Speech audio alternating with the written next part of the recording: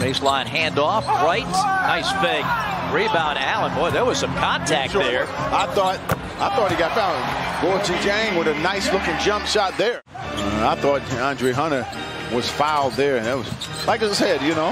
Cavaliers turn it. Here comes Gorgui Dieng to Collins for the jam.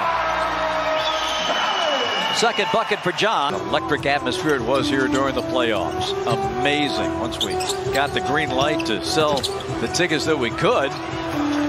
As Dieng lays it in. After eluding Dieng, here's Gorgui going back to work. Nice pass to Huerter. Gorgui Dieng on some of the passes he's made tonight. Cabarro also starting this third quarter.